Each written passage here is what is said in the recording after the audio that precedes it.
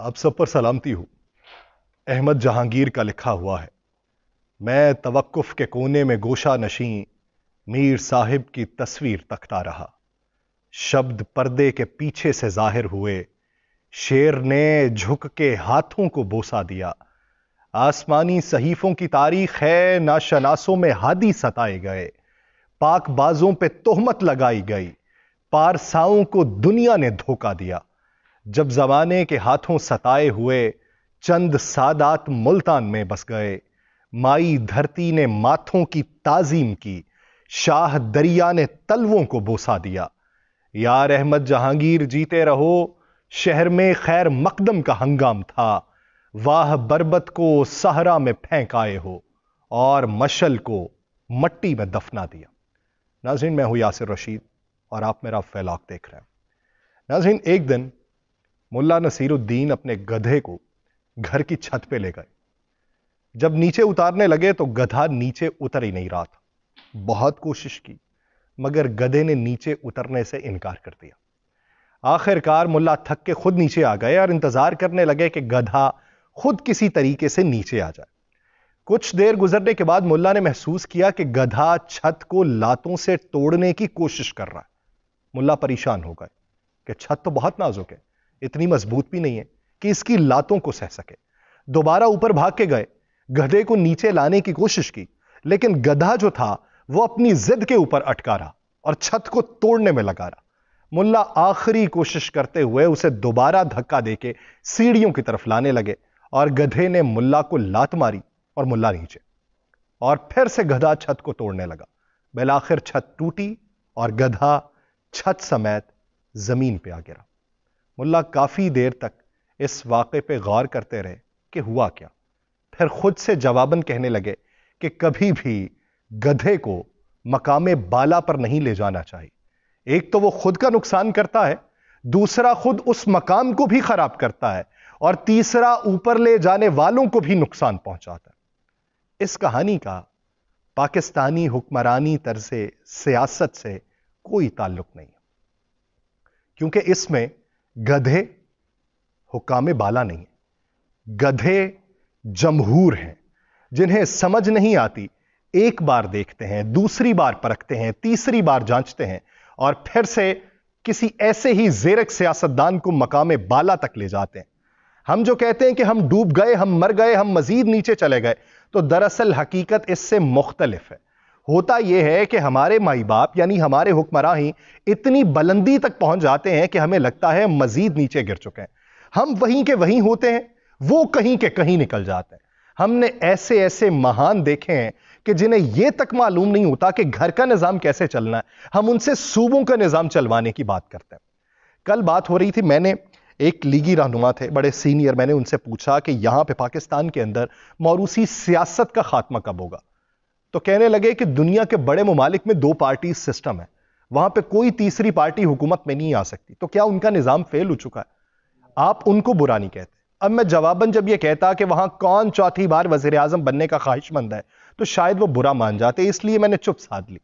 जहाँ पे फैसलों में अवाम की राय मानने की बजाय, अवाम से हाथ मिलाने की बजाय, किसी और से हाथ मिलाना सादत की बात समझा जाता हो तो अवाम के फैसले फिर कोई खाक करेगा। जब अवाम से ब्लैकमेल होने की बजाय, हुक्मरान, इत्तहादियों से ब्लैकमेल होने पर ज़्यादा डरते हो तो उस मुल्क के अंदर यह जान लीजिए कि निज़ाम आपके लिए नहीं है, आप निज़ाम के लिए हैं। क्योंकि पाकिस्तान के अंदर, अब पाकिस्तान पीपल्स पार्टी के चेयरमैन बिलावल भुट्टो जरदारी को जब यह कहना पड़ जाए कि अगर इलेक्शन से पहले ही रिज़ल्ट को तय कर लिया जाना है तो फिर इंतबात का कोई फ़ायदा नहीं। हम किसी और का फैसला मानने के लिए तैयार नहीं है, हम अवाम का फैसला मानेंगे।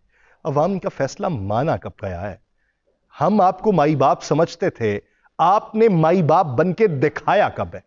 ये पाकिस्तान पीपल्स पार्टी के चेयरमैन वही हैं, जो इस पार्टी के सरबराह होने के नाते बलोचिस्तान में लोगों से मिलते थे, उनसे वादे वईद लेते थे उन्होंने पाकिस्तान पीपल्स पार्टी में शमूलियत का इंदिया दिया, उस पर डुगडुगी बजाते थे और अब मौजूदा सूरत हाल के तनाजुर में वही फसली बटेरे जब उठे हैं और उन्होंने पाकिस्तान मुस्लिम लीग नून के अंदर शमूलियत इख्तियार कर ली है तो अब लेवल प्लेइंग फ़ील्ड ना होने का रोना रोया जा रहा है। दूसरी तरफ़, जाती ज़िंदगी को बहस मुबासे का हिस्सा बनाने वाले अगर जातियात पे ही गुफ्तगु करने को अच्छा गर्दानते हैं तो फिर पार्लियामेंट से बाज़ार हुसन तक किताब पढ़ लें, आपको और ज़्यादा मज़ा आएगा। जब अपना आप बताने को कुछ ना हो तो दूसरों को गिराने के हरबे ही आजमाए जाते हैं। जब आपके पास कुछ ना हो अपनी गुड गवर्नेंस बताने के लिए, आपका मंशूर बताने के लिए अवाम को रागिब करने के लिए अवाम की बेहतरी का कोई सामान आपके पास ना हो तो आप फिर बताते हैं कि दूसरा कितना जलील है। एक और गौर तलब बात है कि लोग पार्टियों से तोड़ के दूसरी पार्टी इसमें क्यों शामिल करवाए जा रहे हैं? माजी करीब के अंदर कहा जाता था कि इलेक्टेबल की जो सियासत है, वो किसी को भी हुकूमत बनाने में मददगार साबित हो सकती। ये एक बुनियादी कुलिया था और पिछली तीन दहाइयों से पाकिस्तान में यही रायचुल सिक्का वक्त था। लेकिन मौजूदा सूरत हाल के तनाजुर में जब लोगों की जहनी अप्रोच तब्दील हुई, जब लोगों ने यह मानना शुरू कर दिया कि हम इलेक्टेबल्स को शख्सियात की बुनियाद के ऊपर वोट नहीं देंगे तो फिर बहुत सोने, इसका एक और हल निकाला। उन्होंने उन शख्सियात को भी पकड़ा है, जो पहली पहली बार बरसर इकतदार आए जिन्होंने अपनी सियासत का आगाज़ पार्टी से किया और उसी पार्टी से मुंतखब हुए और फिर कैबिनेट का हिस्सा बन गए। अब उन लोगों को तोड़ के इस अहद के इलेक्टेबल बनाया जा रहा है, ताकि ये मुस्तकबिल में जाके काम आ सकें। अब यही लोग जो इस पार्टी से टूटे, पाकिस्तान तहरीक इंसाफ से, और दूसरी पार्टीज़ के अंदर शामिल हो जाएँगे, ये मुस्तकबिल के इलेक्टेबल्स हैं, ये मुस्तकबिल के फसली बटेरे हैं, ये मुस्तकबिल के मौसमी परिंदे हैं, या ये मुस्तकबिल के वो अशखास हैं जिनको उर्फ़ आम में एक खास लकब से नवाजा जाता है।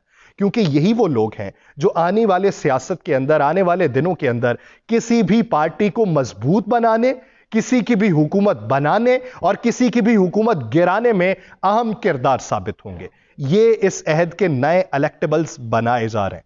माजी के इलेक्टेबल्स अगर कहीं पे हार का सामना करते हैं तो उनके मद्दे मुकाबल इनको किसी हद तक जितवाया जाएगा। और अगर ये जीतते नहीं भी हैं तो फिर भी किसी ना किसी को डेंट डलवा के एक मतंजन बनाया जाएगा और उसी मतंजन से हुकूमत बनाई जाएगी। यह सिस्टम। हम यहाँ पे चीखते चिल्लाते रहे कि पाकिस्तान के अंदर तर्ज सियासत को तब्दील होना चाहिए। हाँ, तब्दील तो हुआ और इसी पैराए के अंदर हुआ। यह अलग बात कि मुस्बत पैराए में हम खुद के अंदर तब्दीली ना ला सके। अब पाकिस्तान के अंदर सियासत अगर आगे बढ़ती है और सियासत में किरदार कुशी वाला ही तमाम मंजरनामा देखने को मिलता है। अस्सी की दिहाई की सियासत फिर से होती है। माजी के हरीफ, अब के हलीफ और अब के हलीफ, मुस्तकबिल के हरीफ बनते हैं। तो फिर पाकिस्तान में एक नौजवान, एक नया वोटर, वो कौन सी बेहतरी का सामान अपने लिए इकट्ठा कर सकता है?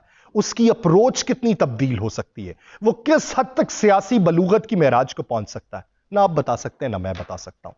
उसके आगे अगर दुनिया का मॉडल हो, दुनिया के तरक्की याफ्ता ममालिक का तर्ज सियासत हो, और इलेक्शन से पहले जहाँ पे मुजाकरे हों मुबासे हों, मनाजरे हों, जिसके अंदर बात की जाए कि हमने क्या अच्छा किया, हमारी पॉलिसी बैन अवी सतह के ऊपर क्या थी, खारजा पॉलिसी को किस तनाजुर में तरतीब दिया, और मौजूदा हाल के अंदर तुमने क्या इकदाम उठाए हैं तो उससे ही कुछ बेहतर का, बेहतरी का सामान हो सकता था। बसूरत दीगर, यहाँ पे सिर्फ़ अपने आप को बचाने और दूसरे को गिराने की सियासत किसी को भी कामयाब नहीं करेगी। लेकिन जो तीस सालों में ना सीख सके, वो तीन महीनों में क्या सीखेंगे? मुझे दीजिए इजाज़त। अल्लाह ने के बाद।